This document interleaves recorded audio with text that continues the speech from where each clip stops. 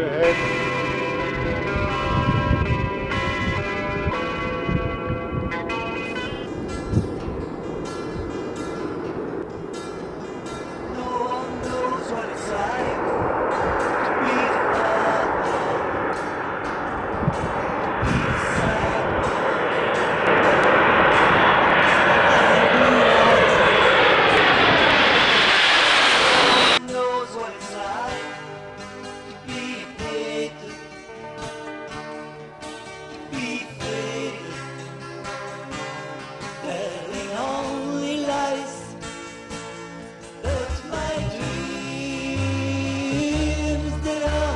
was empty